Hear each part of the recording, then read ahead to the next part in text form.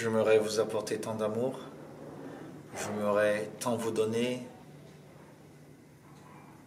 J'aimerais être tous les jours avec vous pour vous alléger les peines, les souffrances que vous endurez.